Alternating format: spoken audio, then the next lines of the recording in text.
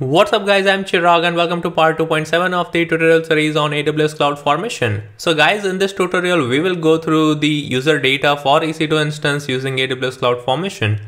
So when do we use user data? So for example, if you want to run any automated configuration script or any automated task at the launch of an instance, then at that point of time, we can use user data. So I have already covered user data in one of my tutorial, right? So that is run services on instance startup. So this tutorial is basically the part of the deploy flask application on EC2 instance tutorial series, right? So if you want, you can refer this.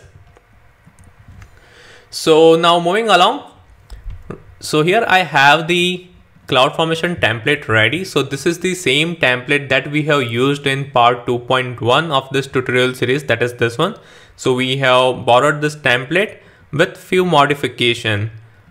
So modification in the sense that we have added these two properties that is key name and the user data, right? So why key name? Because in this tutorial, we are going to access edge into this instance that is being created by the AWS Cloud Formation.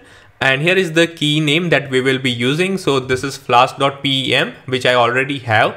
So this is the name of the existing key pair that we have mentioned as a value, right? So maybe in some other tutorial, uh, I will show you how we can create the new key value pair for the EC2 instance and how we can SSH into that using Cloud Formation, right? So that's where we have added key name on line number 21.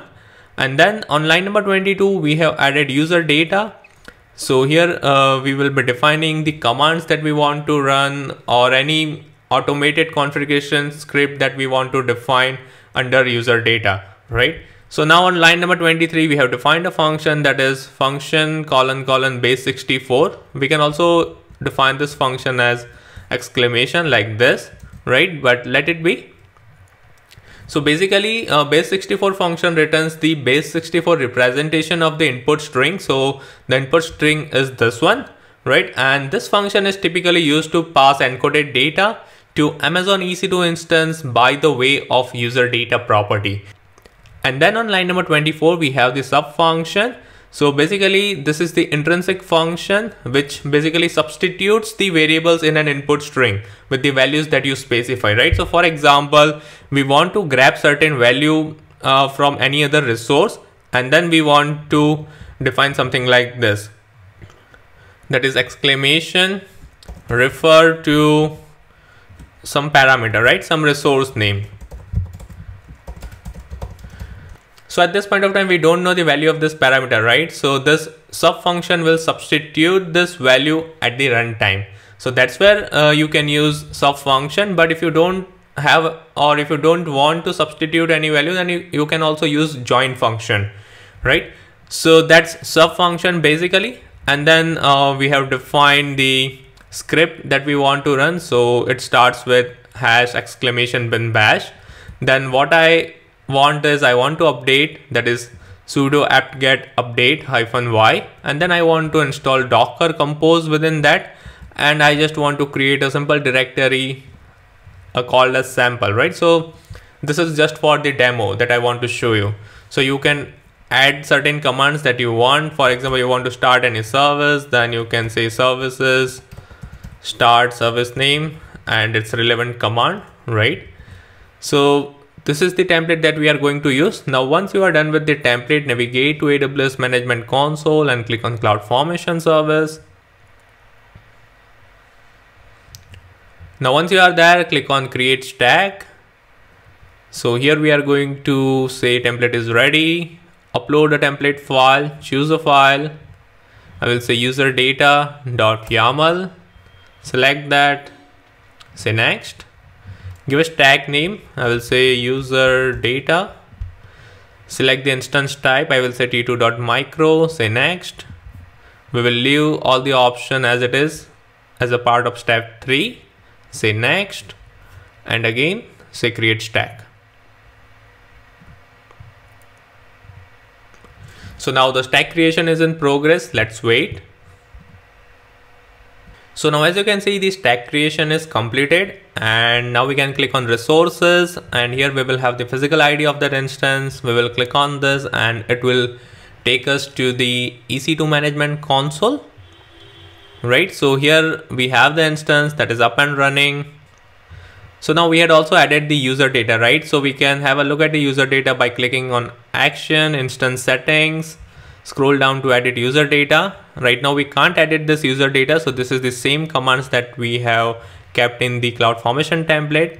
In order to edit this user data, you need to stop this instance and then you can edit it and restart the instance.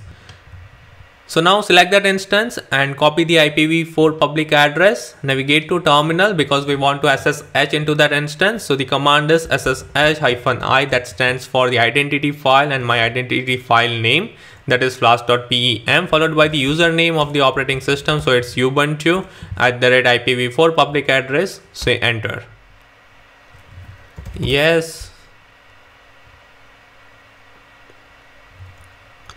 So now here we are, right? We hope that all the commands that we have defined is executed successfully. So now by default, Docker Compose or Docker is not installed in the Ubuntu 20.04 LTS operating system or version, right? So let's say sudo docker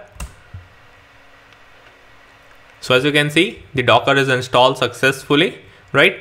Now, if you want to look at the logs of this execution, then the location is slash var slash log followed by cloud hyphen init hyphen output dot log. Okay, so this is the location where you will be able to locate the logs, say enter. So here they are, right? so let me show you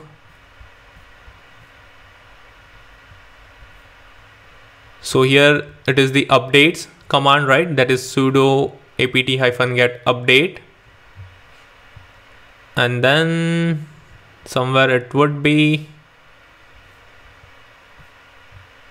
so here uh, we see dkpg configure unpacking. So this is our docker installation command that's going on right? So here are all the logs that you can go through. So now let me clear this. Now we should be also having the sample directory. So if i do ls then here we have the sample directory created right? So this is how you can define the user data within aws cloud formation template right and guys that's all i wanted to cover in this tutorial until that time, if you want me to do tutorial on any use case or service, then please leave them below and I will try my best to come up with a tutorial as soon as possible. And if you have any queries or comments, then again, please leave them below and don't forget to like and subscribe to my channel and see you next time.